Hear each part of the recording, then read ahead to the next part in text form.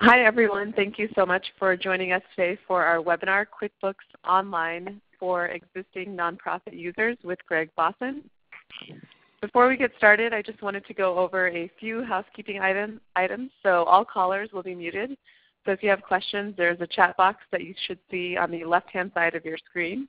Um, feel free to ask questions as we go along. We have several people on the back end who will be helping to answer those questions in addition to the Q&A at the end, which we'll try and get um, to all of our questions, all of your questions, as many as we can. If you're interested in seeing some of our past webinars, you can find them um, on the TechSoup website at techsoup.org slash community slash events dash webinars. We'll also be sending an email with the presentation, the recording, and any relevant links once the webinar is over. And if you're on social media, feel free to give us a follow at TechSoup um, and use hashtag TSWebinars. However, we will be monitoring this uh, Q&A pretty closely. Also, if you have any trouble with your audio, I recommend just refreshing your browser um, and then logging in again with the link that was emailed to you. So just a little bit about TechSoup. So we are in 236 countries and territories. Um, we, we, partner with several uh, technology companies such as Adobe, Intuit, Microsoft, Symantec, um, and as today QuickBooks Made Easy. Um, we have a lot, of, a lot more information if you're interested about the donation program on TechSoup.org slash Intuit.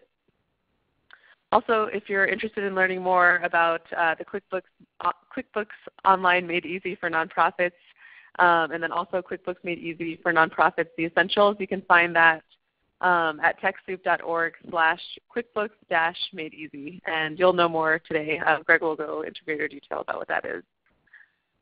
Um, so just before we get started, I wanted to um, introduce Gregg Bossen. So Gregg Bossen is a practicing CPA and advanced certified QuickBooks Pro advisor with a full-service accounting firm located in Atlanta, Georgia.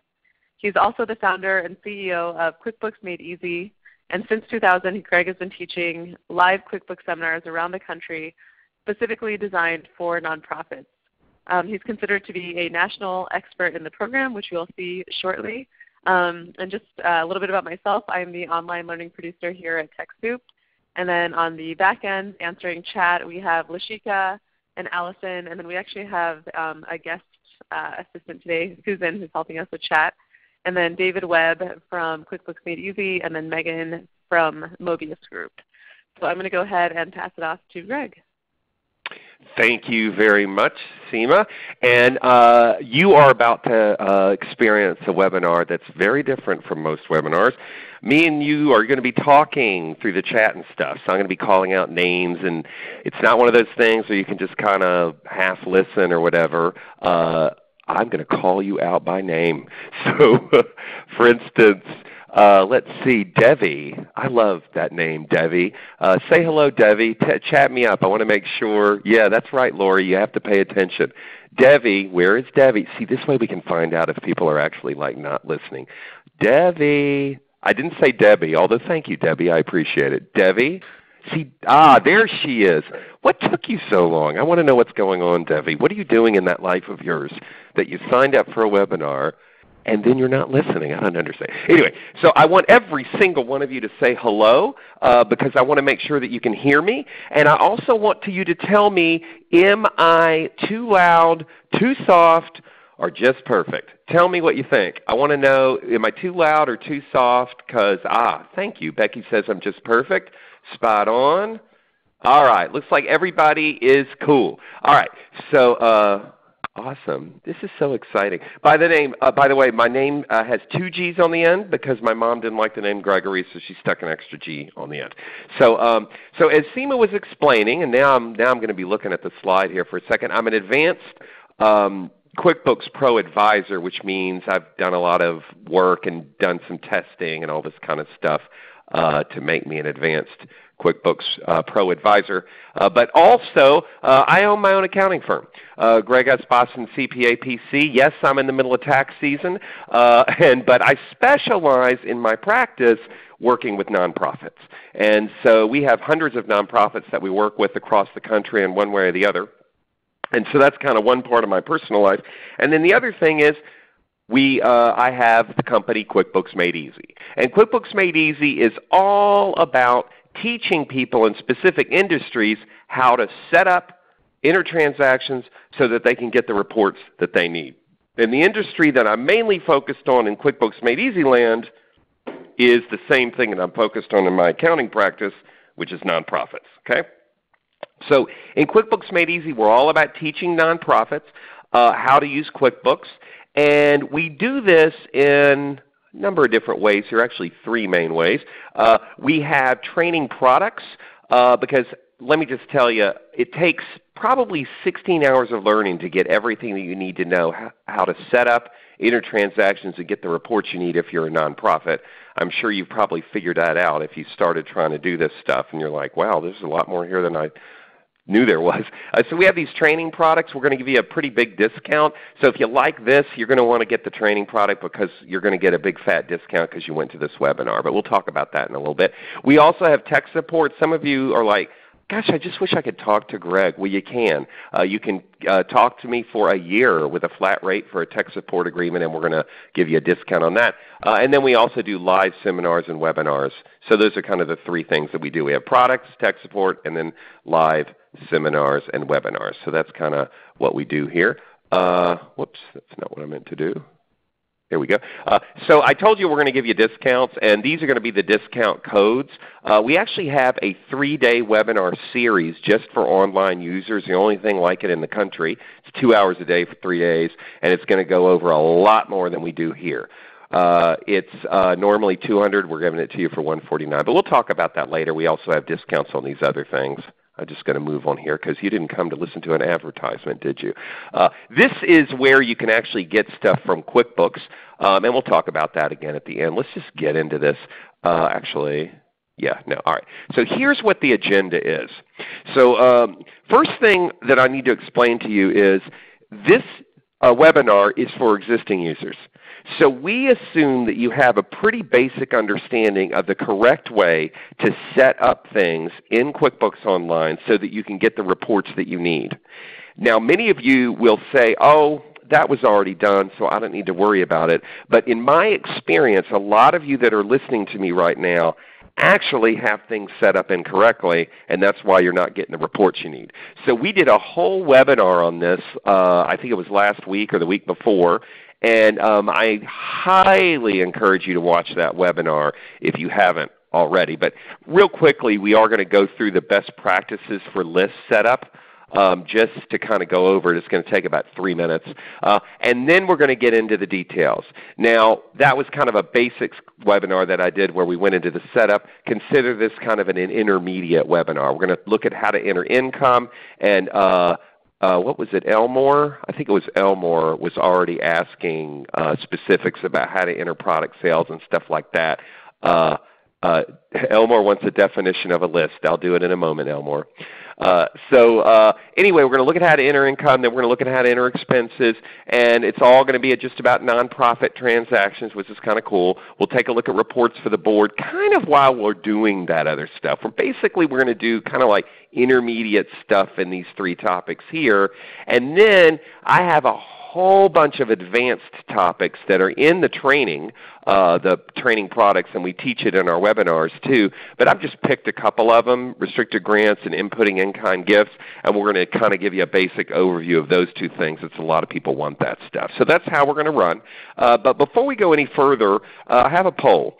So I want to see who went to the webinar, and CMAC, I don't remember when it was. What day was that? It wasn't last week. It was the day, the week before, I think. But I want everybody um, to answer to yeah. see. We had one on the 6th and then also on the 8th. Okay. Well, the one for the online edition people is the one I'm interested yeah. in. Yeah, the 8th. That was on the 8th on the 8th. So I really want to make sure that you do that. So we've got 359 participants and we've gotten around 225 poll results, which means I'm waiting for other people that aren't listening. That's so upsetting to me. Anyway, uh, so all right, I'm going to go ahead. It looks like y'all are answering, but it looks like more than half of you did not go to that webinar last week. About a hundred of you did, but the rest of you didn't. Uh, and so that's concerning to me. Uh, and I want you to watch that webinar. But we'll go over it like in two minutes, everything that we did in an hour and a half. Um, I'm going to go ahead and skip to the results here so you can see where you sit. So about two-thirds of the people, it's the first webinar that they've ever been to that I've taught. So um, we're going to go through basics in a couple of minutes about how to set, it, set things up, and we'll tell Elmore what a list is. Uh, and then, uh, and then the rest of these people, that's kind of cool. 105 people still want to listen to me and you, David. That's pretty cool. Unless David, David, are you there? I'm here. David's kind of, all right. David's I'm, like my cohort in crime. Uh, we travel together to do the live seminars, and we get into a lot of trouble. But anyway, so uh, this is next slide. Uh, I, just as a real general slide that uh, TechSoup likes me to explain to people, just so you understand that QuickBooks is a financial software package. Okay, it'll do your financial statements, it'll track your receivables and payables. It'll also do payroll and credit card processing, but you have to pay into it extra money for that. So you may not be using those options.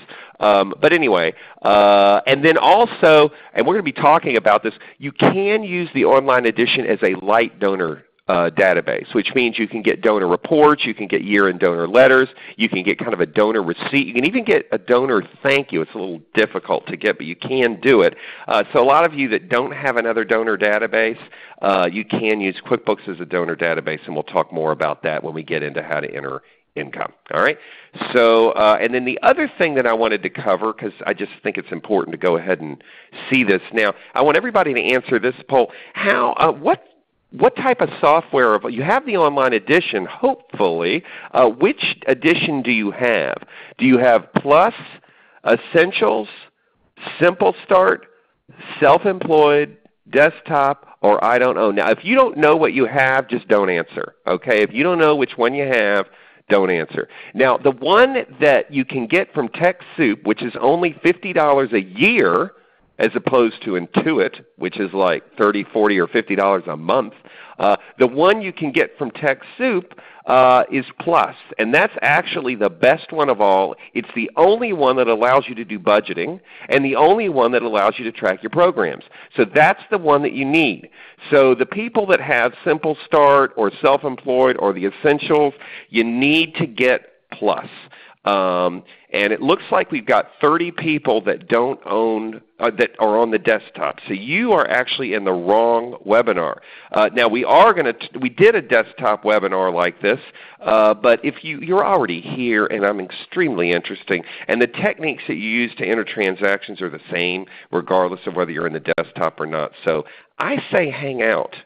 Uh, we're going to get wild and woolly here. Plus we're giving away I think, David, aren't we giving away a car at the end of this thing? Disclose we're not giving away the car. we are not giving away. Okay, I thought we were giving away a car. All right, all right. So let's go on. Oh, let me show you where you uh, where you are in the. And there we go. So there's a lot of people that are in the wrong webinar. But hang out. Uh, don't worry. You're cool. Uh, and we still got 100 people that didn't respond. Maybe they don't know what they have, so that's cool. So uh, first thing that I want to explain to you uh, with this is that you really have to have the Plus version again, because the Plus version is the one that tell that allows you to have budgeting. And now, if you don't know what you have, let me just share my screen real quick. So right now, you should be seeing uh, the actual uh, QuickBooks Online. Is that what you're seeing, David? Do you see the that QuickBooks Online?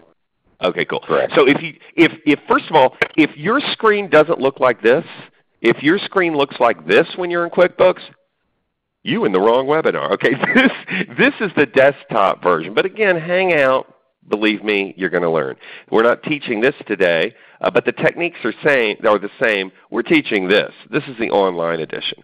So the online edition, uh, if you want to see whether or not you have the plus version, you go to this gear, okay, over here to the gear, and you click on uh, account and settings. And that's basically the same thing as your preferences if you were in the desktop. So I'll click it. And then all these different categories over here on the left-hand side, and you look for billing and subscription. and you click on that, and then it's going to tell you when you get to billing and subscription, if it'll open, there we go. It'll tell you what you have, and as you can see, I've got plus.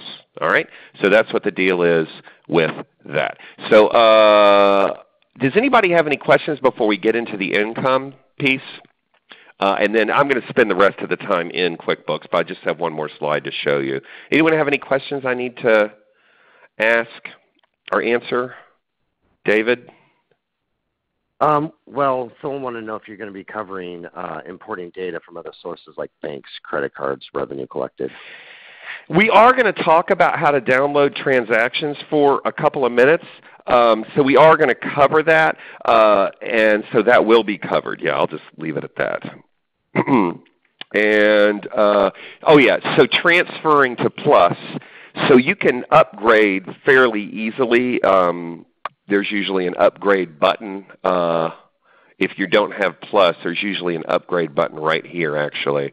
But um, and the other thing I will go ahead and cover, and I know a number of you are asking this, if you already have uh, the online edition and you have it from uh, from uh, other than than TechSoup. If you bought it online from Intuit, you're paying twenty or thirty or forty dollars a month. Whereas if you had it from uh, TechSoup, it's only $50 a year. The issue with that uh, is that if you want to change it so that you're only paying $50 a year, you actually have to open up a new account through uh, the one that you get from TechSoup, and then you have to take your account that you have and you have to move it over to the, the TechSoup uh, uh, uh, QuickBooks Online account. And that's a little bit of a challenge. Uh, we have found a uh, because what happens is you, you basically when you're in QuickBooks uh, you have to basically export the data and then import it back into the new file and that becomes a little challenging and I don't want to get into this too much but uh, there is a company called and I, I, will go ahead and tell you guys this. What is it? Is it ChronoBooks? Uh, Megan yeah, can yeah, yeah, Megan can chat about it, and it allows you to basically seamlessly move a data file from one online account to another. So um, uh, that's kind of where I want to.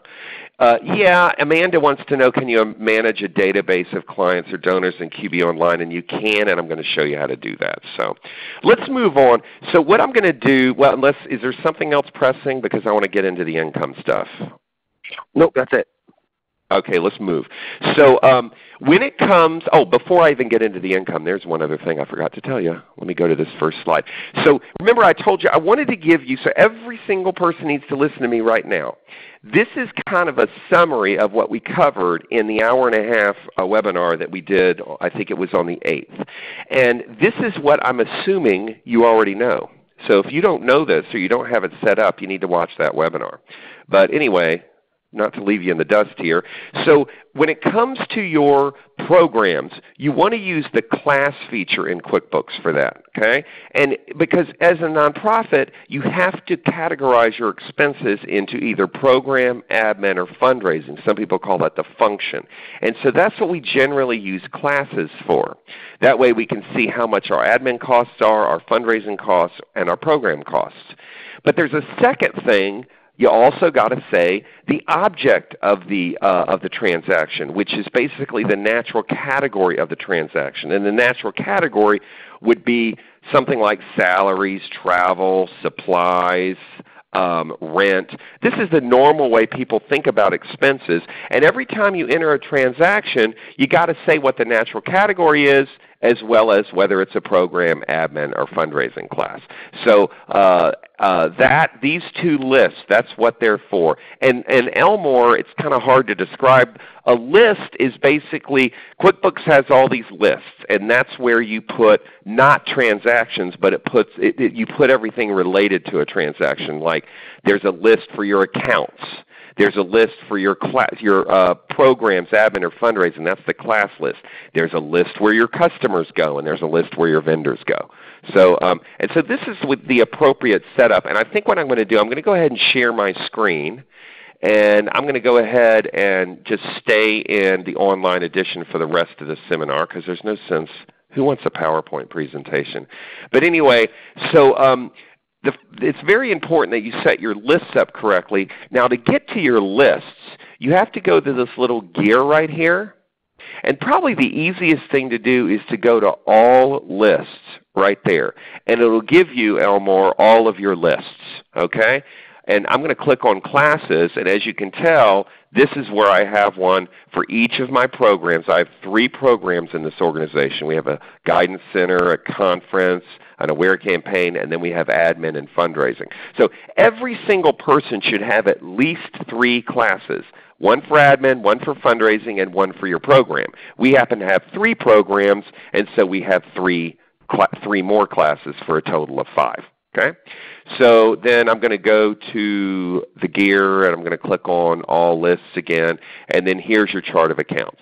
And your chart of accounts is probably the most important list of all because it determines what your financial statements are. Okay? And this is where you would put your natural categories, salaries, payroll taxes, health insurance, stuff that pretty much everybody has. These are generic. They're not related to any one program. You may have equipment rental in all three programs. Okay? It's just but you only need one equipment rental expense account.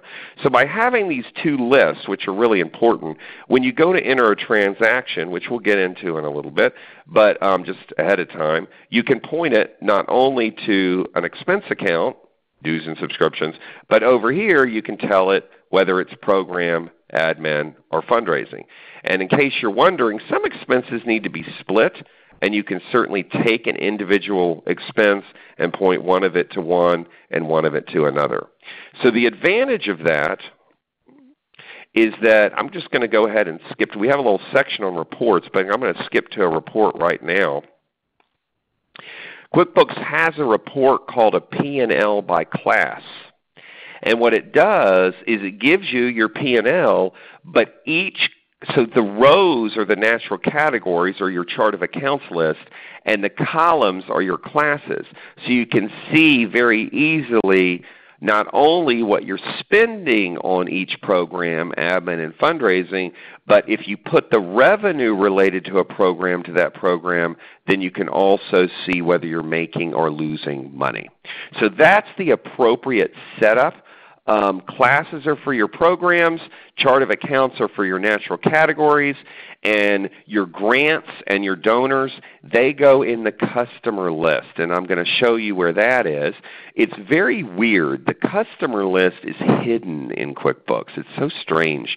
Um, the customer list is within this sales button, which is so stupid. But anyway, I click it and its customers are related to sales. So you'll go over here and this says customers. Yours may say donors. It's the same thing. As a matter of fact, you have the ability to change this name. I'll show you where to do it in a minute.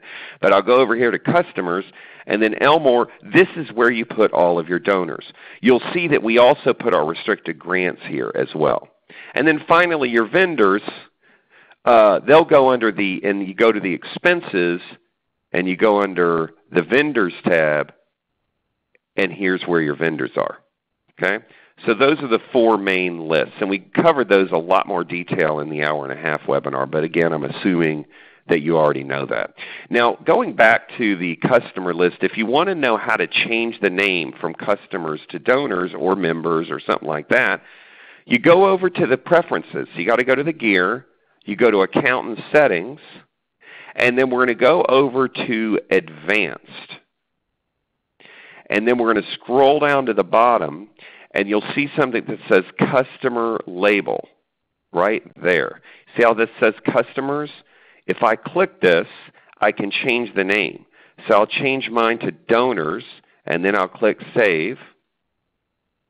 And so now, let me get out of here. Now when I go over to Sales, this says Donors. All right? No big deal. Now, if you're thinking to yourself, well, I want two lists, one for donors and one for members, not happening. Everybody that gives you money needs to be in the same list. Very sorry about that. It's called the customer list, or if you want to change the name, you can. So that's it for the setup piece. Um, I'm going to get into income, but let me just ask, does anybody have any questions about income, um, about setting up? Did I confuse people? What are you thinking? David? Um, I have uh, Julie that says, uh, "How do you deal with their both customers and vendors?" With the same. So, so what? Yeah, what Julie's talking about is, and I'm sure a lot of you know this. Sometimes you have a donor that also does work for you. So they're a donor and they pay, they give you money, but they're also a vendor because you pay them. And QuickBooks can't use the same name on more than one list. So what you have to do is you have to basically you have to change the name. You have to put a dash V or for vendor or something like that. Maybe put a little, little initial so that you can use it. That's just the, the way that it goes. Sorry about that, Julie. Um, next question. Robin wanted to know, are 1099 contractors vendors or employees? Oh, great question. They're vendors. They cannot be employees. They're vendors. And as a matter of fact, hold on a second here. Workers. I think I think that's just your. Uh, let me see whether. Oh no, Okay, they just changed this. How annoying. So this says workers, and your 1099s go right here in the contractor list. They changed that about a month ago. So, um, oh, you know what though? These are still in the vendor list. So what you do to set up your 1099s, you go in the vendor list, and then you click New Vendor, and you fill it out. Um, and uh, uh, let's see here, track payments for 1099, and you check that box right there, and then that makes them a 1099 person. All right. Uh, anybody else got a question? Uh, yeah, there's quite a few actually rolling in. Uh, well, somebody okay. says they don't see sales on the left. Okay, so you might have a, a different word there. You're going to see revenue or income. It's the same thing. But no sales. Look on the left and look on the left and tell us what you see. It is invoicing. Ah, well, click on click on that. She's got one. It, let me tell you something that's about. This is so annoying when it comes to the online edition. They'll make changes, but they roll it out slowly. So some of you may have it saying sales, some of you may have it say something else because it used to say invoicing, and then they changed it. I'm surprised yours still does uh, you might be one of the ones that's in trouble. They have red flagged a few people uh, that uh, I think people that have been breaking the law. So you must be breaking the law. I think is what that is. I'm completely kidding. Don't pay attention to me. All right, I'm going to move on. I'm sorry, but it's 2:30. We got an hour left, and I want to get in. I want to have 30 minutes for the income, and then 30 minutes for the rest of it because income takes a while. So here we go. Are y'all ready? Chat me up if you're ready. I'm going to take a sip of water here.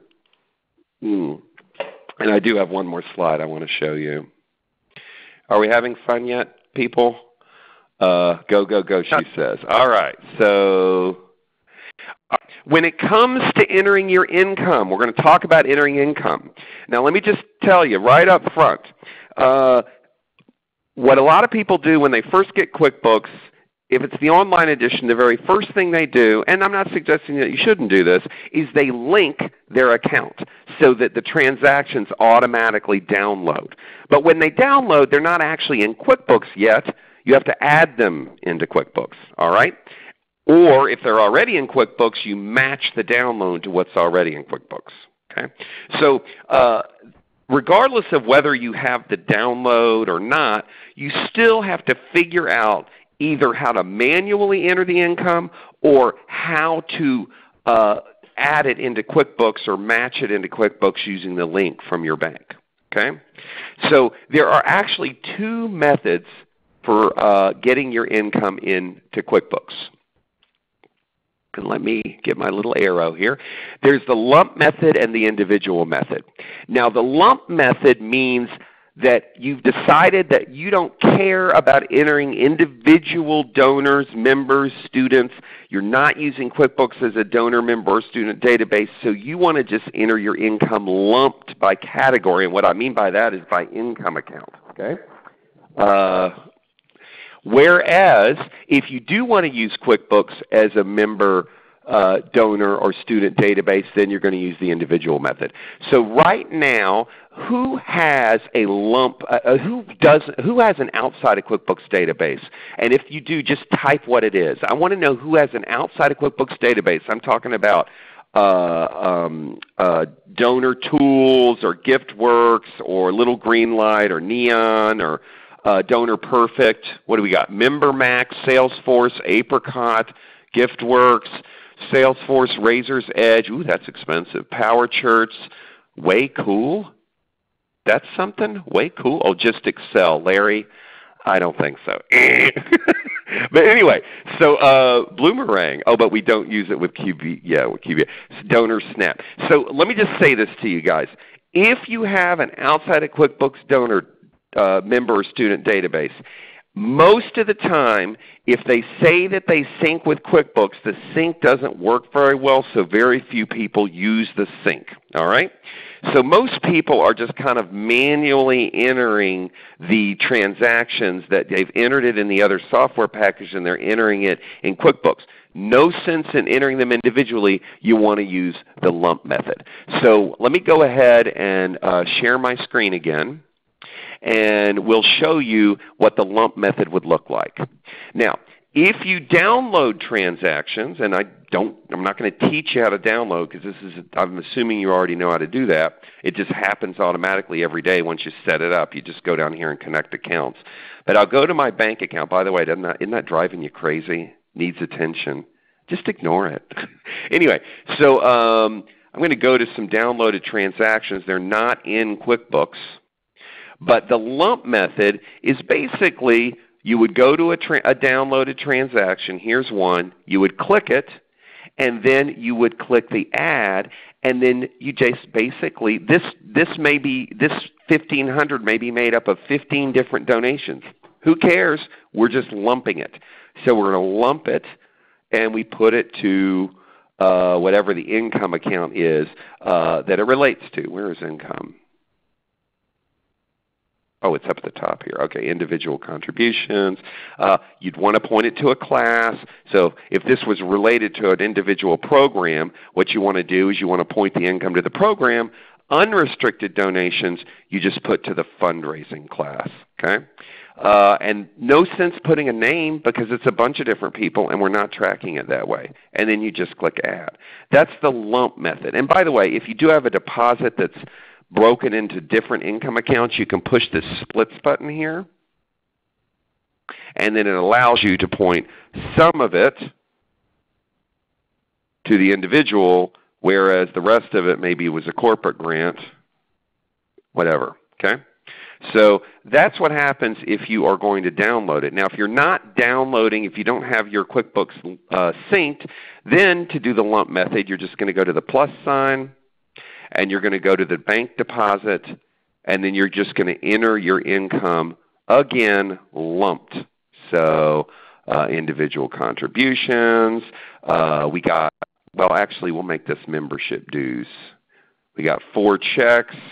Total was $425. Why is that? I keep pushing zero.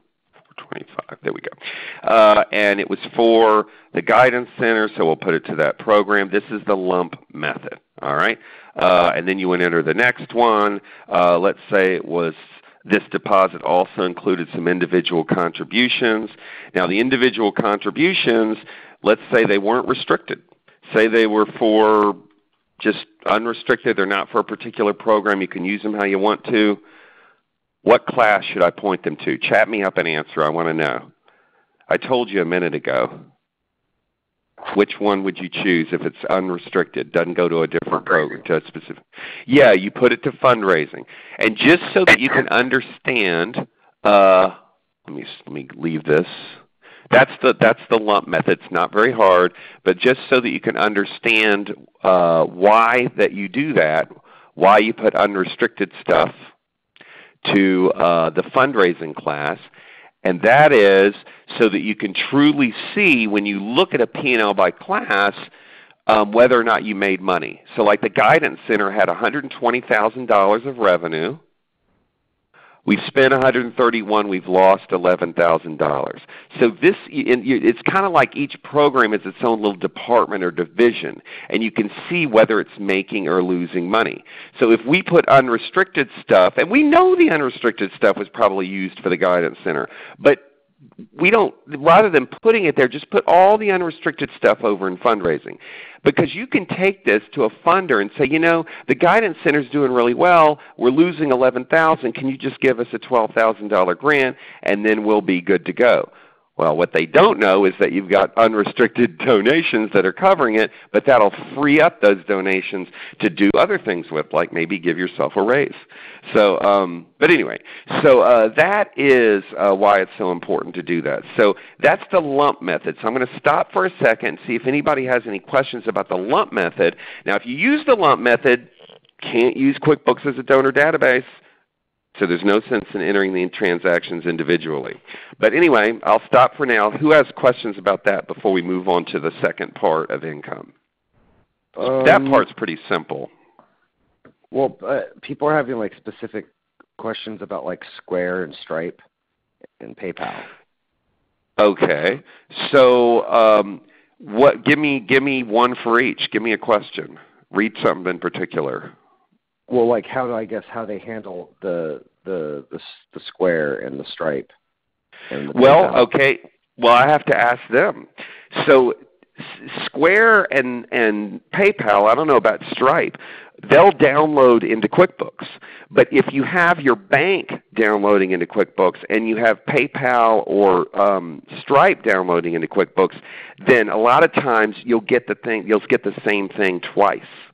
So you'll have to kind of, what I do is I download from the bank and then I look at my PayPal or Stripe report to figure out how to enter the transaction. So in other words, if I see a deposit in my bank feed, this one here, let's say it's from Stripe or or from uh, um, uh, uh, what was the other one, Stripe or Square, uh, you'll know it because it'll say it in the description field. And then you'll click here and you'll have to split it, which means you're going to have to know how much of that deposit came from each place. How much of it was uh, related to membership dues versus how much of it was related to you know whatever your other income accounts are. Okay? And then some people are like, well, wait a second. Um, the money that got deposited, they subtracted out my fee. And how do I handle that? Well, what you do is you click, you add another line here, and then in the category, you put, let me see if I have, no I don't have one here, so I'm just going to put bank charges, bank service charges, and you enter that as a minus so that it equals the amount of money that was actually deposited in the account. So that's how you do it. It's a pain, but that's how you do it. You have to know um, how to split that stuff. Now, did that answer any questions, or did it just raise more questions? What do we got? Uh, I don't know. I've been stuck on the, the, the queue of questions, so I don't lose the ones that I have in queue. I'm not reviewing the ones that are popping up now. Um, uh, which then I just lost it.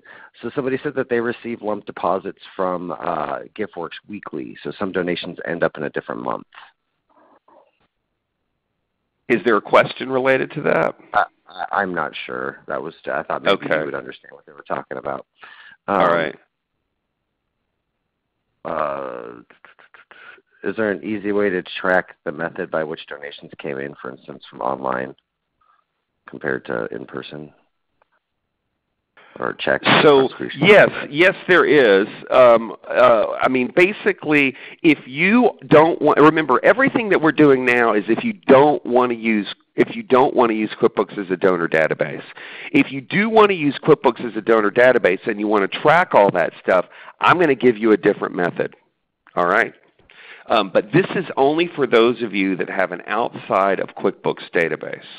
Uh, and you know, it's interesting when you go to add something here, the only options that we have are we have the category and the class. And this is the type of income. This is what, uh, what program admin or fundraising.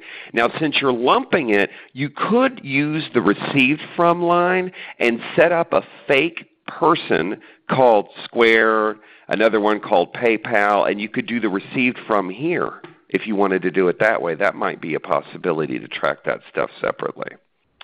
Um, let's take one more question and then we're going to switch to the other method of entering your income which allows you to actually use QuickBooks as a donor database. But what other question do we have here?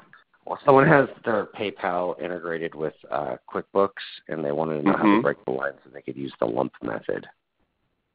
How, to break, break PayPal? How to break yeah. um, so uh, that, to be honest with you, I I don't know how that works. I think you have to go. Megan might know. I think it's probably in the apps here.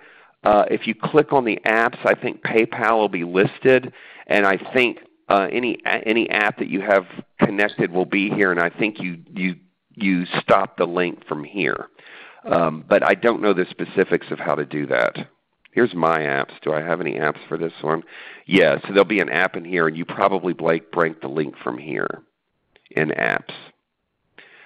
I feel like I'm not really helping. Y'all chat up and tell me what's going on. Are y'all confused, or do you feel? I was trying to give you just the lump method, and then I, we got into this all this stuff about you know the various payment methods, which I think is important. So I'll stop for a second more. How are we doing, David? Give me your judgment. Everyone's good. Really? Y'all are okay? All right. Okay, good. What about Elmore? I'm very worried about about Elmore. Elmore, are you okay? Is Elmore all right? Elmore is not responding to you. Oh no. I say, they're, I say they're doing fine. Are you? They're, they're just they're gone. They're done. Let's keep all it right. Boston. All right. Now here comes the meat. Now we're going to get into the fun part. This is how you enter income if you do want to use QuickBooks as a donor, member, or student database. Now, first of all, can you use QuickBooks as a donor, member, or student database? Certainly you can. Uh, what kinds of things can you get from them? Well, I'm going to click on Sales. You can go to a list of your donors right there. If you click on a donor, you'll get a window that basically gives you all the transactions for that donor if you click on transaction list.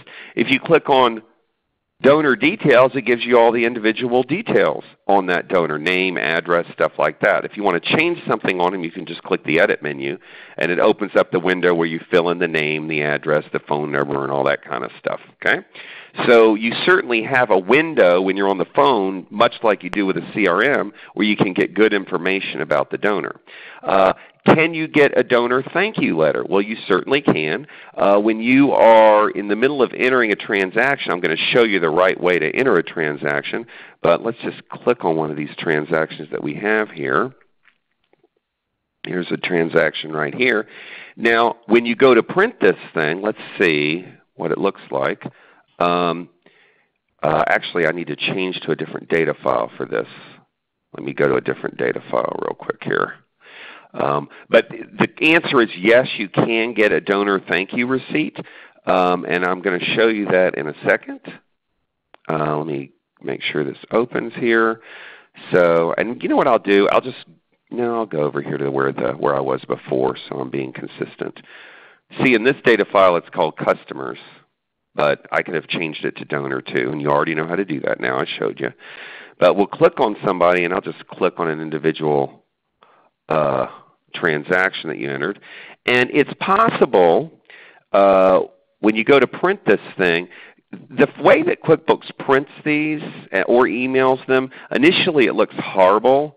It looks like this, so you're thinking, eh, I can't really get a thank you out of it. But you actually can um, because if you can customize it and create your own form, which is very actually easy to do. I have a whole uh, chapter on it in my training product.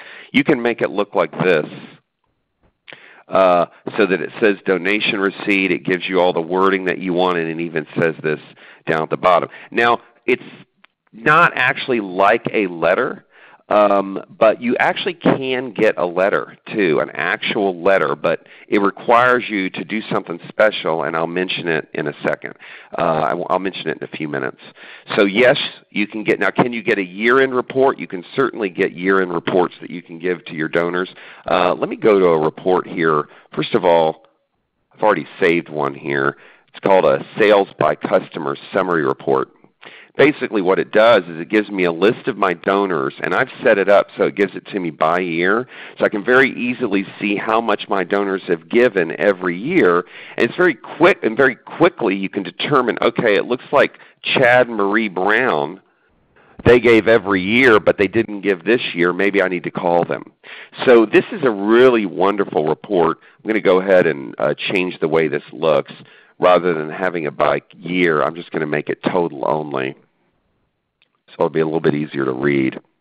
Uh, so here's a list of my donors. And I think I can sort it too. So I can sort it in ascending or descending order. I'll sort it in descending order, and then the donors that gave me the most are at the top, and then it goes down from there. So that's that's pretty cool, I think. But anyway, if you want to use QuickBooks, and you can also email from it, I'm I'm going to show you. But if the main thing I want you to understand is that if you are going to use QuickBooks as a donor, member, or student database, you have to use the sales forms when entering transactions. So let me just explain to you what I mean by that. I'm going to go to the dashboard. If you want to use QuickBooks as a donor, member, or student database, the wrong way to enter transactions is to either manually go to the bank deposit window and enter things. You would think this would be the right way of doing it because see, I can put the name of the person, I can put the income account, individual contributions. What a lot of you do. This is a payment method. It's a check. Here's the check number. Here's the dollar amount. We'll make it a we'll make it a million dollars and it's unrestricted. Wouldn't that be great? Uh, we'll go to fundraising. So, and then you go on to the next line and enter the next donation. Some of you might be doing this now. You can't, your bank will be right, your financials will be right, but you won't be able to get a thank you letter, and it won't appear on any of the great reports that QuickBooks has. I'm going to go ahead and save this transaction. Uh, let's see here. I wish there was just a save. So I'm going to click Save and New. And then I'm going to go back over here to my little report. I'm going to refresh the screen and see whether or not that million dollars appears on the screen, and indeed it does not.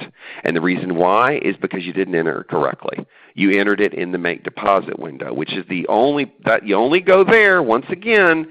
You only go there if indeed you plan on uh, not using QuickBooks as a donor database. So this is the wrong way. Okay? So I'm going to go ahead and delete this transaction. The right way is to use the sales forms. Now, what are we talking about when we say the sales forms? These are forms that QuickBooks assumes that you're giving out to the donor. You don't have to give it out to the donor if you don't want to, but you have to use the form if you want to use QuickBooks as a donor database and get good reports. There are one of two forms that you'll be using. One of them is called the invoice form. The other one is called the sales receipt form. The invoice form you'll use if you want to invoice customers ahead of time. The sales receipt is what most of us will use because most of us don't do invoicing in QuickBooks, and it's just when the income comes in, we got to have a figure out a way to enter it. So you're going to use a sales receipt form. So how many of you have never used a sales receipt form? I want you to type if you've never used a sales receipt form. Go ahead and type it. I want to hear. Who's never used one, David? Be proud. Don't be don't be shy. I want to hear if you've never used this form before. Oh, there's a lot of people. All right. Well, let me tell you something. Here, give me somebody's name. Uh, Gwendolyn. Who, who said? Gwendolyn. Gregg, Gregg Bossen here. How you doing, Gwendolyn? Gwendolyn, I'm about to change your life. All right. You've probably been doing the whole make deposit thing, or you've just been downloading them and then just pointing them to something. That's only okay if you're doing the lump entry. If you want to use QuickBooks as a database, and I know you might not like this, you're going to have to enter them individually in the sales receipt screen. Okay? So here's what you're going to do. Um, when you get money in, even before it goes into the bank, pick the name of the person here. They pay me by check. It's the same information that appears on the make deposit window. Uh, they let's see, they gave me an individual contribution, and they gave me a million dollars and it went to fundraising. Okay? So I'm going to go ahead and save that transaction. And now I'm going to back over to the report. I'm going to why, and it's still not showing here. Why is it not showing here? Somebody chat me up and tell me why it's not showing. Gwendolyn? It should show because this is the right way to enter it. Refresh your screen? Yeah, Every, it's annoying. In the online edition, uh, and I know a lot of you younger people are like, what's annoying about that? I'm cool with refreshing my screen. But those of us that are a bit older and that are used to using the desktop version, we don't have to refresh our screen every two seconds. But anyway, we'll click it, and look at that. Now we got a million dollars. Okay. Also, if we go to where their uh, customer is, I'll click Customer right there. Me. Customers and I'll go to Parker and Faith Ashford as soon as it pops up. And you'll see that million dollars will now be on their on their little their little setup screen or their home page or whatever. So we're queuing into theirs and there's the million dollars right there. Okay? So um, that's the right way to do it. So you might be saying to yourself, well Gregg, I'm still a little upset because I've never used this before. And this seems like a lot of work because I'm used to entering the make deposit window and the make deposit window is a lot simpler and a lot easier because with the make deposit window I can just have different lines, you know. Uh, well, first of all, the information is the same here as it is in the sales receipt. Name of the donor you put here, income account, Here's the reference number, that would be the check number, the payment method, the class, that's the program, and the amount. Okay? Name of the donor, income account, check number, payment method, class, and amount. it rhymes. That's the same information you put here. So even though you may never have seen this, Gwendolyn, you already know how to do it. Name, let me, name of the donor, income account, check number, payment method, class, and amount. It's the same information. Now you may be saying, well Gregg, this is annoying because I got to do a separate one of these for each person, whereas when it comes to the deposit, I can just do separate lines. So this will be quicker. No, it won't. When you get to the end of this line, you got to either push the tab button or click the mouse to go to the next line. Over here, you just click Save and New, and then it goes to the next one. Okay?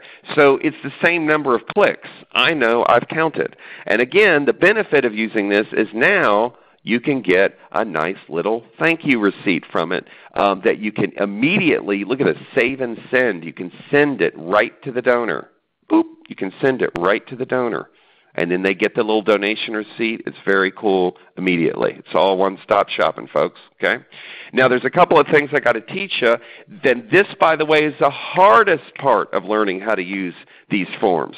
So listen very, very carefully. I'm actually going to take a little drink of water here.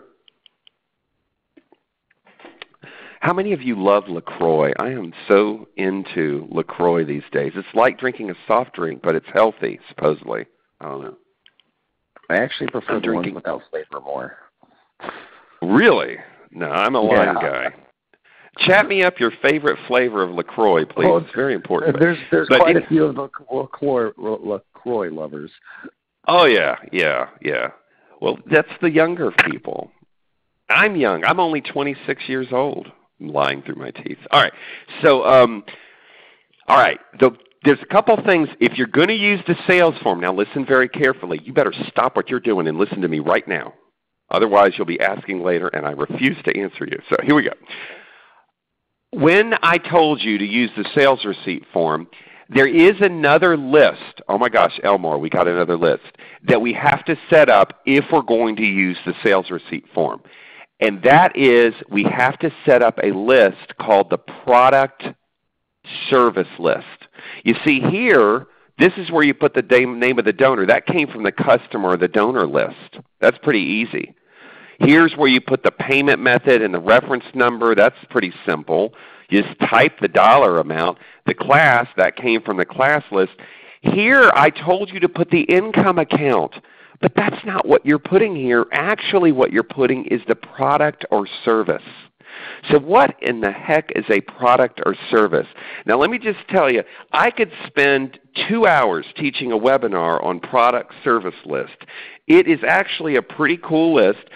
For you, because we want to make this easy, this is QuickBooks Made Easy.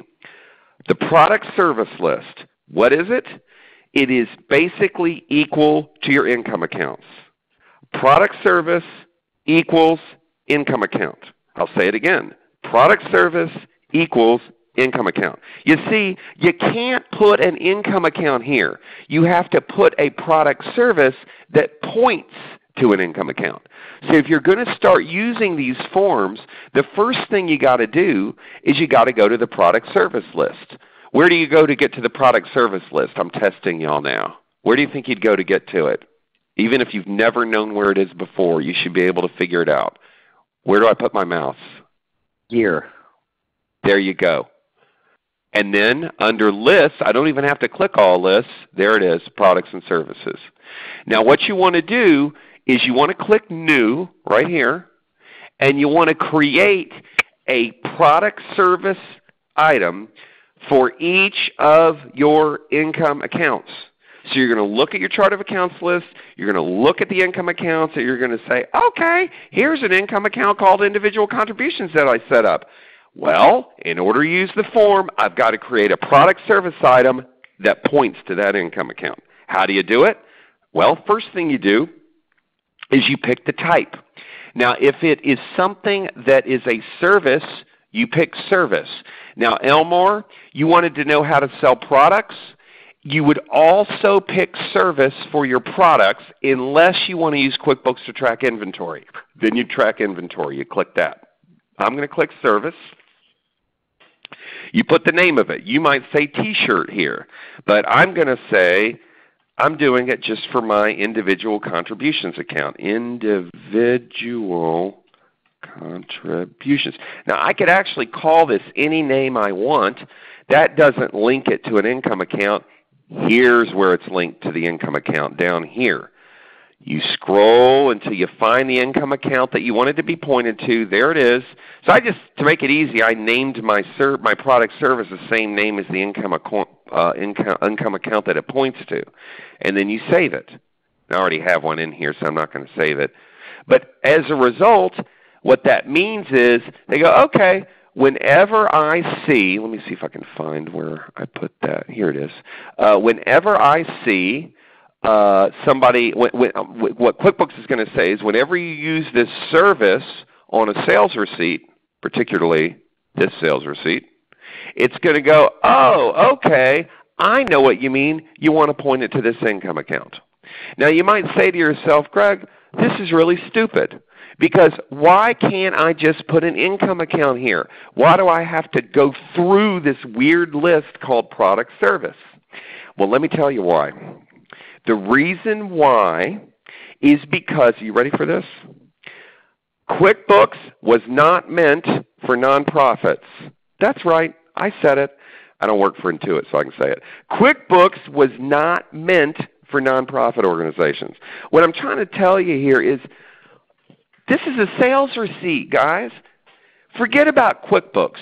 When do you get a sales receipt in your life? Tell me. It's the weekend. When do you get a sales receipt in your life? What are you doing when you get a sales receipt? Where are you? Shopping. You're shopping. You're at a store. When you go to a store and you buy a bunch of stuff, you go up to the counter, you pay, and they give you a sales receipt. Is the general ledger income account on Target's books? Sitting on your receipt? No. What's on your receipt? The products and services that you bought. Ah, ha. You see, they thought you were going to give this to people. Now, you don't have to give it to people, but we kind of have to create this product service and point it to an income account. Now, if you're a small nonprofit, you may just have one product service that points to the one income account you have, individual contributions. But you can use this product service list to get more granular in terms of the various types of income that you have. Notice how we have, look at this, under uh, member dues, we have four, yeah, it looks like we have four different product services. We have an affiliate member, a general member, and a sustaining member. So I'm going to edit this. When I set this affiliate member up, I pointed it to membership dues right there, and I gave it a price of $50. Whereas if I pick sustaining member, and I'll edit that one, we're pointing it to the same member dues income account. So you can have more than one product service item that points to the same income account. Target would have 10,000 of them that points to the same income account. But here, this is a sustaining member and they get billed at 710 versus 50. So when you go to do a sales receipt, let me go over to the sales receipt here. I'm going to change this. I can pick uh, affiliate member and it pops up at $50 right there. And then I can also, but if I pick, what was the other one that I picked? I can't remember. Um, sustaining member, it pops up at 710. And the person Elmore who wanted products, you see how there's it assumes that you're you're selling one of this thing, even though it's a service. Yours would be a product, and then it has the rate. Look what happens here. If I say, eh, I'm selling 20 of these, I'm selling 30 of these. Now you'd never have one person that bought a bunch of them, but anyway, it just shows you how it's multiplying it out. You put it to whatever the program is that it relates to you're good to go.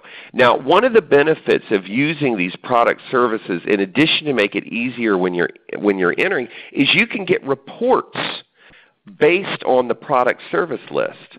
So let me go over and show you uh, under Reports, and I'm going to go to my Sales Reports. That's under All Reports. So you go to All Reports. And then when you're in all reports, you're going to see something that says review sales. You click it. It gives you the different types of sales reports. And you want to look, rather than a sales by customer report, which is what we were looking at before, you can look at a sales by product service report in detail or in summary. I'll do in summary. And what it's doing here is I'm going to make the date range all dates. And what it's giving me here is a list of my income by product service item. So look at how I can get granular in terms of where I'm getting my income from. Here's my, my member dues. Now not only do I see how much I'm getting from each member type, and remember these are all pointed to the same membership dues income account. So without cluttering up the chart of accounts, I have this list where I get the details. But something else, it tracks quantities. It tracks the number of times the thing was used, the number of members you have, the number of products that you sold, Elmore. This is wonderful. If you were using sub-accounts to track this stuff or in your chart, it wouldn't, wouldn't track the quantity. All you would get was the dollar amount. Look at how else I've used it. What if you have sponsorships for a um, for a special fundraising event. You, you just have one income account called sponsorship fees, but then here you'd have multiple product services that are pointed to it. Isn't that kind of cool? Um, let me see what else we have here. I'm going crazy with the arrow. Look at this. This is my personal favorite. Look at this. Fall direct mail campaigns, spring and summer. I use these so that when I enter donations, I pick on the sales receipt which one it is, and then this tells me they all go to the same income account, individual contributions, but now I can see not only how much I made, but the number of donations, and look at this, it divides the number of donations into the total dollar. It gives me the average donation. Now how cool is that? So even if you you're like, Gregg, I don't need all this fancy smancy stuff. I'm real small. Fine. Just create one item or one product service item. But when you create it, you'll still be able to see what your average donation is. This one's 1008 I hate the way they make the decimal go out. No, there's nothing we can do about that. But anyway, there's one more thing I got to teach about this, and then we're going to stop and take some questions because I know I'm probably blowing you, blowing your mind. so what I want you to do is the other question that I have to answer has to do with well, what bank account is this thing going in, right? So what I need to do is I'm going to delete this transaction. Um, and we're going to actually do this like you're supposed to do it in real life. So if you want to use QuickBooks as a donor, member, or student database, you can't just depend on the download, guys. You've got to enter the transactions first. Okay? So you do it, you go over here to the plus sign, and we're going to do a sales receipt. And so say it's Tuesday, you got in a donation, you put the name of the person, it was Parker and Faith Ashford. They gave us a donation. It was part it was an individual actually we'll make it part of the spring direct mail campaign and they gave us a donation of $25. Okay, and it's unrestricted so it goes to the guidance center. So you're good to go. Obviously you can go and print this and send it to the donor. I won't go into how to create the letter, but um, that's a little bit beyond what we have time for. But anyway, the other thing you've got to decide has to do, and I'm going to really zoom in on this. It has to do, did I just blow your mind?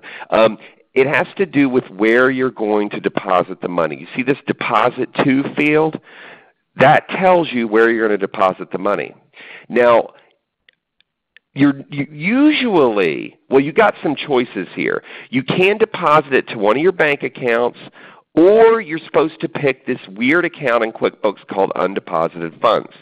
Now, here's the deal.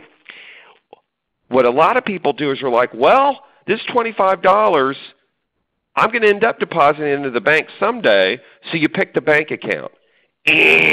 That's wrong, okay? The only time you're supposed to pick the bank account is if you're going to the bank right then. The second you got the check and you're taking it to the bank and you have no other transactions that you're depositing with it. And then what it'll do is it records an increase in the bank account uh, and basically your bank account goes up and it records an individual deposit. But that's not what we do. We don't deposit it immediately.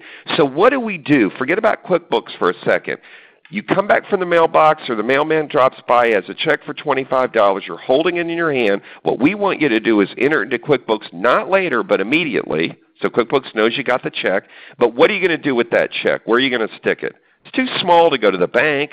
Where are you going to put it? Not in QuickBooks, in real life. Where do you put it? Chat me up an answer. Anybody know? Uh, cash box, safe, deposit yep. bag, lock cabinet. Uh, perfect, door. perfect. Exactly. And if that's what you're doing, what did you say?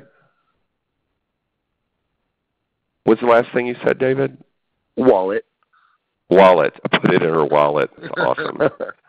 yeah, I want to hire her or him. All right. So um, we're going to click undeposited funds. Now, undeposited funds is an account that you all already have. I'm telling you, you've got it. And it's in your chart of accounts list. I'm going to go to the chart of accounts list. And what this is, this is basically an account in QuickBooks that is the representation of the money sitting in your drawer, in your wallet, in the safe, in the box, waiting to be deposited. You don't want to put it in the bank account. You haven't gone to the bank yet. So you're supposed to put it here. So actually a lot of people change the name of this account, undeposited funds, and they'll change it to that money in my, I'm going to say wallet. That's hilarious. All right. So that's what it's supposed to be. Okay? So watch how this works. I'm going to go over here. I'm going to pick, well, it probably changed the name now. There we go. So, uh, and let me just go back over here. So you see right now that money in my wallet is at zero. The checking account's at 183000 I'm going to click Save. I'm going to go back over to the chart of accounts. i got to refresh it. Again, that money in my wallet's at zero. I refresh the window, and now that money in my wallet is at $25 and the bank account hasn't changed. Good. Shouldn't change. I hadn't gone to the bank yet. Let's do another one in case you missed it. Okay? Let me do a new one. Save a new. Uh, we're going to go over here to, let's see, David Bowie. Uh, this person paid us with cash. Uh, and let's see, we're going to put this, let's say this was the fall direct mail campaign. Uh, I dropped by the office, gave me $100 in cash, pointed fundraising. And again, we don't put it to the bank account, we put it here. So I'm going to go ahead and save that. I'm going to go back over here. I'm going to refresh. And now that money in the drawer, it used to be 25, now it's 125. Okay? Let's do one more because I know a lot of you get money online or through credit cards and stuff like that. So if you want to use QuickBooks as a, uh, as a donor database, got to enter that stuff. So I'm going to go in here and uh, Matthew Bove, they paid with a credit card. Uh, you can add a new one here yourself. Uh, so I wonder if I can just add something called Stripe. I probably can. Yeah, I can add Stripe right here. Uh, so that was Stripe. And now you don't actually put anything in the drawer. But I tell you one thing, it's not going in the bank account yet. There's a delay, and it probably is going to be batched with other transactions. So you put it to the drawer anyway, and then we'll say this was a gold sponsor. It was $500, and we'll go ahead, and that was for, let's see, fundraising and save. We'll go back over here, and we'll click refresh. And so what it does is it's basically accumulating all the money that you've entered but haven't gone to the bank with bank yet. Okay? Uh, so that's why that person who enters the deposits a while ago, David, who was saying it's just deposited once a week and some of the deposits are in the prior month. Well, if you enter them individually, then they're in the right date. Okay, and it accumulates here. So then what happens at the end of the week when it's time to go to the bank, in, in real life, you open up your wallet or the drawer or the box and you take all the checks and cash out of it. In QuickBooks, you click Bank Deposit. And the deposit window opens up, but unlike those of you that have an outside of QuickBooks database, all your individual stuff is sitting right here. And so basically everything that's here should be in your hand because you've taken it out of the drawer. If there's something on this list that's not a credit card anyway, and it's not in your hand, somebody stole something out of your wallet, girl. Okay? And so that is called a internal control. Okay? And that's good. So we like that as accountants. So um, I'm going to go ahead and check the cash. And I must have not said that this was a check, so I need to go ahead and put that in here, put the check number. It's interesting. You can do it after the fact. Uh, and I'll check that off. And so I'm depositing the 25 and 100. So I'm going to go back to the, uh, I'm going to let, let me just go ahead and save this thing, save it. And then I'm going to look at my chart of accounts here. And let's see, that money in the drawer is at 525 right now. The checking account is at 183. Everybody see this? 183, 525. Now what I'm going to do is I'm going to refresh it.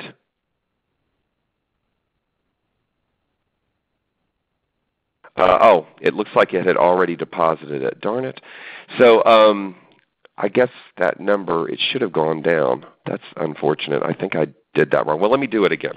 So um, there's money in the drawer here.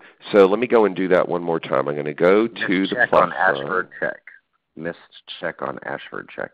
Right. I missed it because that was the credit card. So the credit card will have to deposit on its own and you don't know how that was deposited unless you go to the bank. So you go to the or you go online and you say, okay, oh, I see what you mean. I forgot to to check um, this one. Yeah. But anyway, we'll do the, uh, I'm glad y'all caught it. So here's the credit card one, Matthew Bove. So uh, I'm going to check that off. And then let's say they deducted their fee. Some people don't, some people do. Uh, and so let's see, I created an account here called Credit Card Merchant Fee. I enter the dollar amount as a minus $12.58 and we'll point it to fundraising. Uh, actually, no, this would always go to admin. The fee should always go to admin. So now, let me just go back over here. This is at 525. I'm going to go ahead and save and close. To go back over to the chart of accounts. I'm going to refresh it. It's at 525 now. I'm going to go ahead and refresh it. And now it's only at 25. And that was that last one. So that's basically it. We actually only have 15 minutes left to go through the expenses stuff, but this was actually the hardest part of the webinar. So let me stop for a second and we'll take some questions. And we're probably going to go over probably about 10 minutes on this. Um, but I do want to make sure everybody's happy, so I'm more interested in making y'all happy than than ending exactly on time. I want to make if that's okay with you, Seema. But uh, David, go ahead and, and ask me some questions here. What do we got? We have a lot of questions, so I would say we probably should only ask a few, and then we could continue to answer them on the back end since we're limited. Um, All right. Uh, how do you enter reimbursement income for an expense? How do you link reimbursement to expense? Uh, oh, in other words, when you enter an expense and it's going to be reimbursed by a grant, I think uh-huh. is what that person's saying.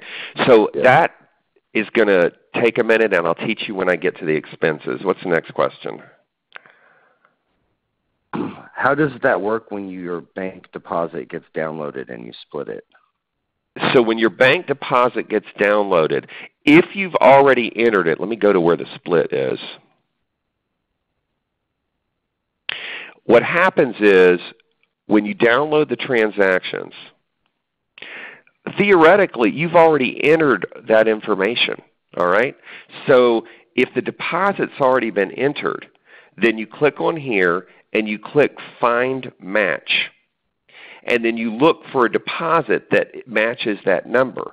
Now, but what some people do is they'll enter the sales receipt, they'll point it to undeposited funds, and then they don't even enter the deposit. When the deposit gets downloaded, they go into this screen, and let me show you how I get there again.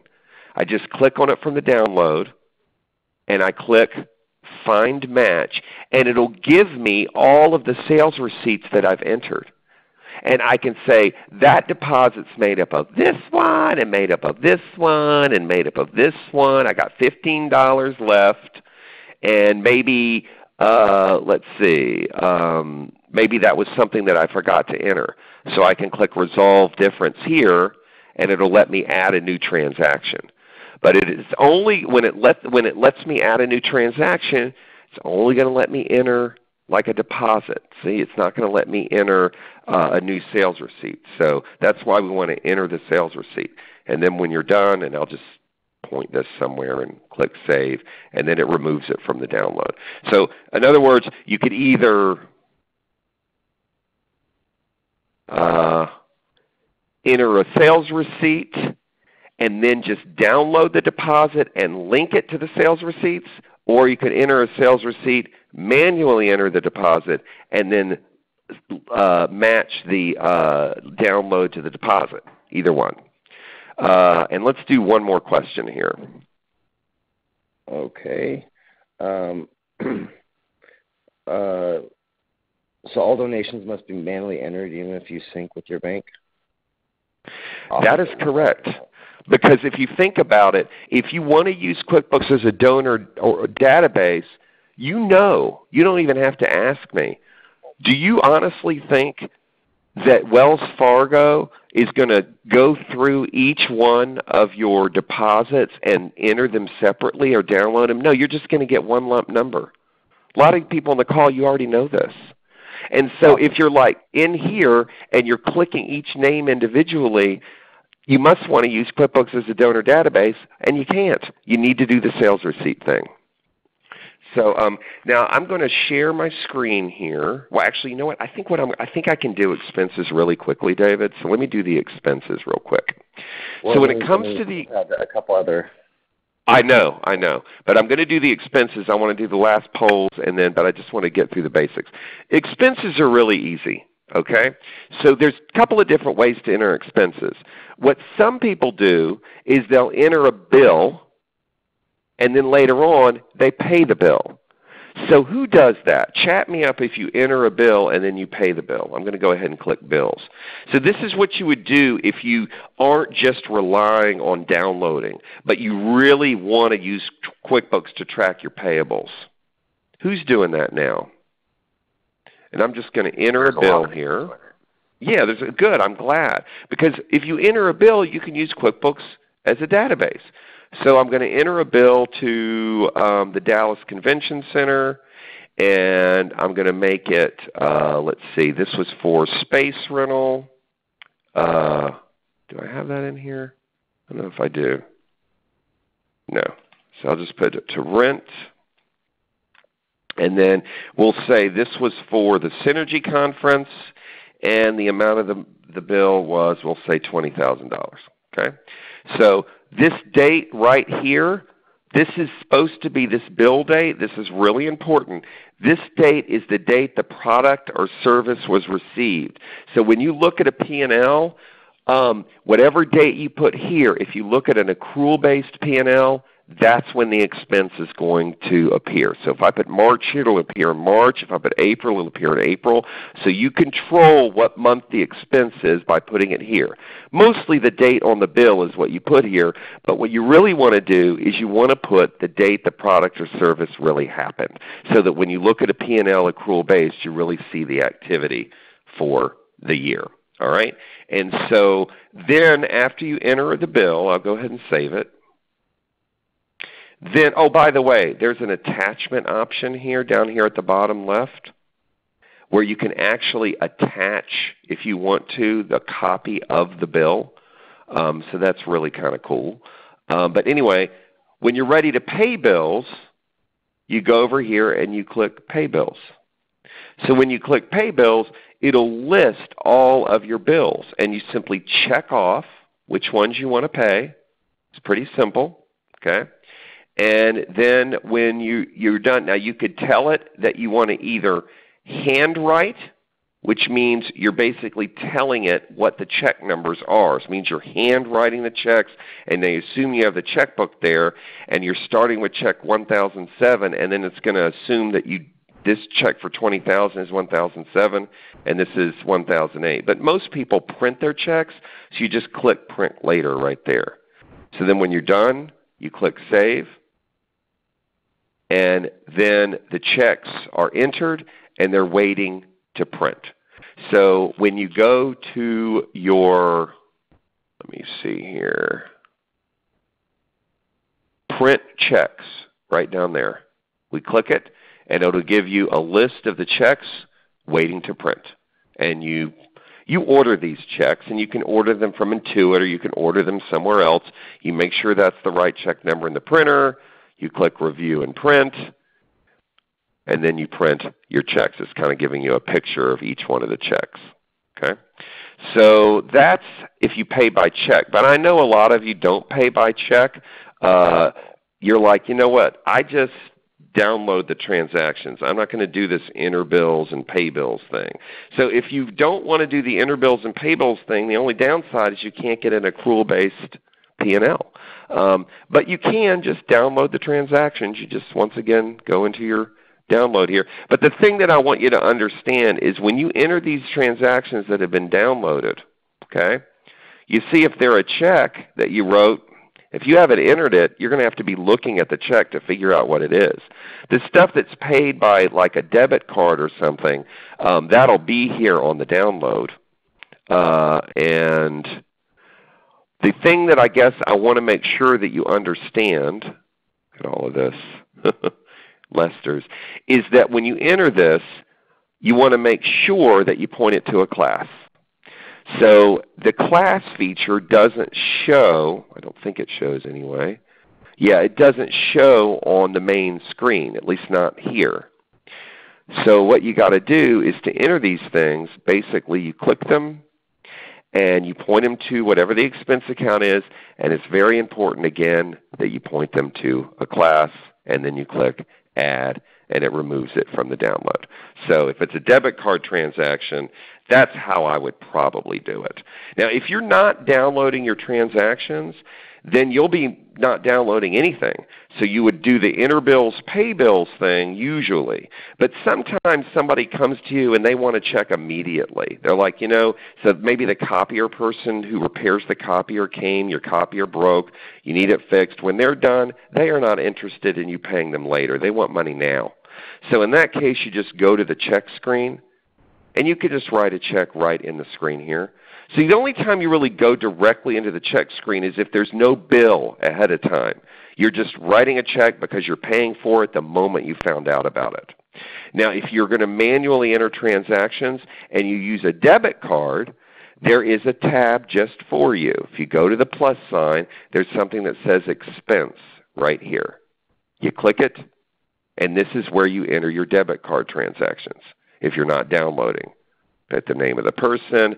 Once again, the main takeaway is every time you enter either a check or a debit card, whether you downloaded it or entered it manually, doesn't matter. You just got to make sure you point it to an expense account, and you got to point it to a class. All right. So um, we only have four minutes left, David. We ran really long. I'm not sure why. Hey, hey, Gregg. This is Seema. I just wanted to. Sure. Um, I know a lot of people have to drop off at 12:30, so um, before we move on to the next section, I just wanted to um, give them a little bit of information before we go. Sure. let me let me let me go back over here, um, and there is one thing that's probably really important. Uh, two things hey, actually. Guys, we're, we're, gonna we're gonna keep finishing. So if you want to know the information, just stay online, and we'll we're gonna keep teaching, and then we'll answer a few questions as well. Yeah. Okay. So Robin, I'll show you in a second. All right. So as you can tell, there's a lot to learn with QuickBooks. But if you feel like I'm somebody that you can deal with talking to um, and getting your questions answered, I would encourage you uh, to either get either sign up for the three-day webinar series, and we'll be able to go a lot slower there and more methodically, and we'll have more time for questions. It's uh, $200 normally. We're going to give it to you for 149, and you get that from the um, you get that from the uh, website QuickBooks Made Easy. So you go to QuickBooksMadeEasy.com and then you use this code right here, TSW50. It'll give you $50 off and these are the dates of the webinar. If you would rather just talk to one of us at QuickBooks Made Easy, you can get a year, and I know this sounds too good to be true, but you can get a year of tech support for 149. Okay, and that's normally $300. So you're getting half off for that. It's only good for 48 hours. You can call us 24 hours a day, 7 days a week. We can even dial into your software. Now, one of our training products, QuickBooks Made Easy, is available at TechSoup.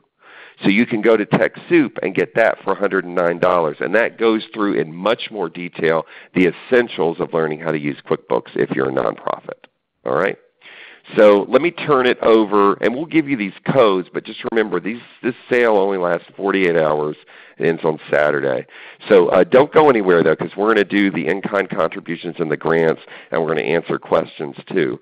Uh, but Seema, what else do you want to show on this slide so that the people that want to leave can do so? Perfect. Thank you. Um, so I know a bunch of you have to jump off at 12:30. So before you go, um, I just wanted to let you know we have a post-event survey, and any feedback that you have on today's presentation is always really helpful to us. So if you could take the few extra minutes to fill that out, um, we would definitely appreciate that. You'll see it when you leave the webinar and then also when you get the post-event email. Um, if you're on social media, give us a follow. We post a lot of tips and tricks on there as well. We're on Facebook, Instagram, and Twitter. Um, we also have a blog where we post articles several times a week. And we have a few webinars that are coming up um, towards the end of the month, which you can see here. One is around cloud identity. Um, and then we have another one, uh, Digital Fundraising Tools and Trends in 2018. Um, so please uh, feel free to join us for those. And if you do have extra time, uh, Gregg is going to go over your questions, and I think he has one more section left. So thank you for joining us. All right, cool. So let's uh, let's do one thing. I want I want to see who's left here. So um, uh, actually, where's that other poll? I want to do that other poll. Here we go. So everybody that's still here, we got 300 people on the line. Uh, I want everybody to answer this. This is just not related to QuickBooks, so it'll give us a break for a second, and then we'll we'll take about 10 more minutes and we'll finish up. So, which statement is false? I want everybody to answer which statement is false. If you dial 113 in South Korea, uh, that's what you do to report spies. Uh, the second one is Froot Loops all have the same flavor. Uh, the third one is bullfrogs sleep 14 hours a day. See, you learn a lot in this in this webinar. Uh, fifth one is new bacteria are have been discovered in hairspray. Uh, the body has 60, uh, six, 600, what is that, 60K miles? I guess that's 6 million. 60,000. 60,000 60, miles of blood vessels. and a group of pandas is called an embarrassment. Which one of these is false? The other five are true, shockingly.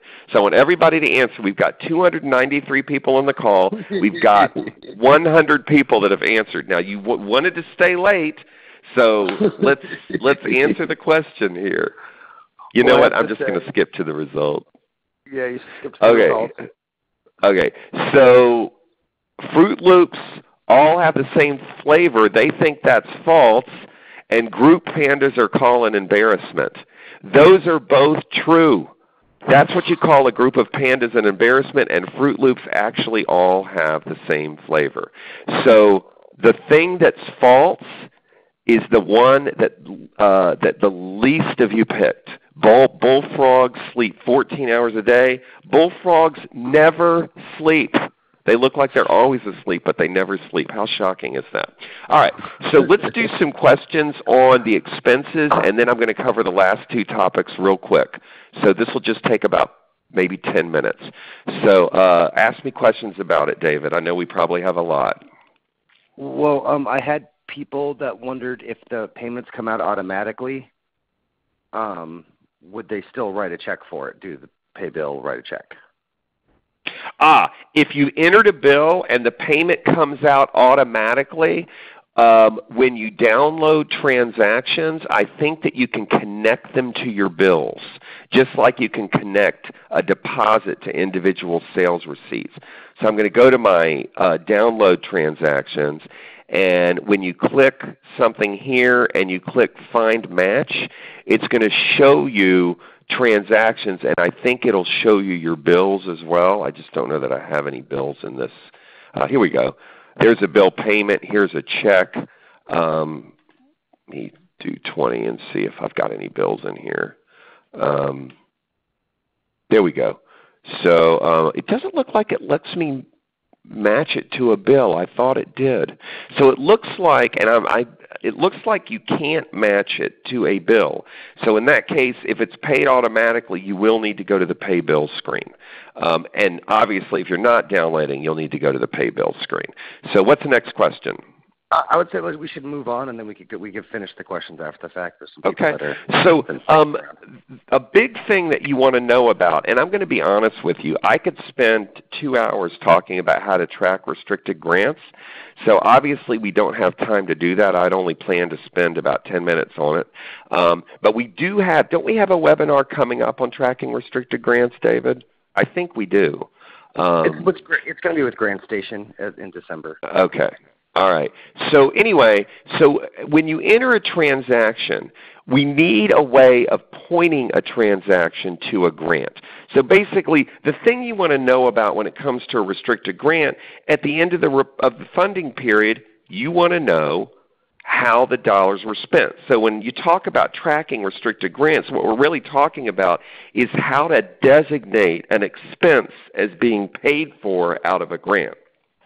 Well, if you look at a check screen, and it'd be the same as a bill screen, you see there's a place to put an expense account, and there's a place to put your program. Here's a place right here. See donor or customer? This is one place to go to to point an expense to a grant. So what you do if you want to track restricted grants in QuickBooks, if you have two options. One option is to use the customer or donor field. You put each one of your grants in the customer field. And if you notice here, I'm using the customer list. I've got a customer called restricted grants, and then I have sub-customers underneath it for each grant. The other thing I want you to notice is that if you have a funder who's giving you money, but it goes but they give you the same grant every single year, you want to have a separate sub customer for each one of your grants. from that funder. Because sometimes the very last transaction that was paid for out of the 2019 grant wasn't paid for until 2020. So this way you can pick which grant it is when you're entering the transaction. So very much like you can get a P&L by class, you can also get a P&L by grant. So what you do is, uh, we'll go over to reports and I'll show you where you go to do this. Um, you see how there's a P&L by class right here? There's also, let me get a different color here. Um, where was that red? There it is. Uh, P&L by donor. So when you do that, and I'll go ahead and run it, well actually I've already got one memorized. And I renamed it P&L by grant. You get a P&L for each one of your grants so that you can see not only what you got in, but which expenses were pointed to a grant so that you have a net down here at the bottom. Um, now, I don't have time, and it's beyond the scope of this webinar, um, but you can even do a budget for a grant. So I can enter, I can look at a report that will give me a budget to actual for a particular grant. It tells me the actual, it tells me the budget, and it tells me the variance. And I've used the customer job field for that. Okay? So that's one option for tracking your grants. Now the problem with that is if you download your transactions, which I know a lot of you do, and you download your expenses, you just go here. When you go to point an expense, uh, well, here's where you can point it to a grant. So you can point it to a grant right here, and you can point it to a program right here. But the problem is if you want to split a transaction where some of it's paid for out of a grant and some of it isn't, you can't do that with downloaded transactions. You can only split by class. You can't and account. You can't split by customer. In other words, you can only point one customer, or uh, sorry, one transaction to one grant. So uh, if that's your problem, you either need to not download the transactions because you can enter them separately in the manual situation, or if you want to download transactions, then there's an alternative place that you can use to track your grants. So let me go ahead and show you where that is. I feel horrible that we're not able to get into more details here, but hour and a half is just not long enough. That's why we have the other ways that you can learn. But uh, what I've done in this particular data file is I'm using the class list. So what I've done here is yes, I'm using the class list for our program. See, we have one here for housing program. But then I have subclasses for each grant that relates to a program. So then what happens is when I'm entering a transaction in this second method, you leave this blank and over here you're basically telling it by picking the grant, you're telling it what grant it is and what program it relates to. Of course, sometimes you'll have expenses for a program that aren't paid for out of a grant, so you'll put it to a subclass called unfunded. But then you'll be able to get a P&L for your grant just by looking at a P&L by class. So it gives me a P&L for each grant. And then it gives me the total for the housing program. So that's the alternative method. So I've still got to teach the in-kind contributions. So um, uh, who has questions say, about the grant thing? We do, but I would say just keep teaching, and then we can answer a few questions because we're, okay. we're really running we'll do. time. Okay. Yeah, so I think we should probably in, wrap up in the next five, five minutes or so. Okay. So with the in-kind contributions, and again, I apologize for running long here. With the in-kind contributions, um, what this is, this is when someone is, is giving you something other than money. It's either going to be goods or it's going to be services. Now, um, since there's no money that changed hands, people often wonder how to get that stuff into the books. So the transaction is entered by using a journal entry. Now I know most of you don't like journal entries. You probably don't know very much about them. But to do a journal entry, you go to the plus sign and you click Journal Entry. Now you'll need to create one income account for your, um, let me get the right date here. Whoops. All right. Uh, you'll need to create an income account in your chart of accounts list called in-kind contributions. So just create one of those. You don't need multiples. And then to make an income account go up, you credit it. You put the fair market value of the thing that you're getting here. And then the other side of it is going to go to whatever expense account you would have pointed it to had you written a check for it. All right? So some people don't like that. Some people create an expense account called in-kind expenses, and we'll get to that in a second. But technically what you're supposed to do is point it to whatever the expense account is you would have pointed it to had you written a check. So I'm going to go to, uh, let's see, I think I have one here for counselors. There it is. And I'm going to point it there. You're going to point it to a class, counseling center. And that's how you enter an in-kind contribution. The person who you gave it to, you put here in the name field. Now I'm going to go ahead and uh, save and close this. And I want to show you what this looks like on a report. So I'm going to go to a budget to actual report, which is what you would usually show your board. And I want to show you what happened here.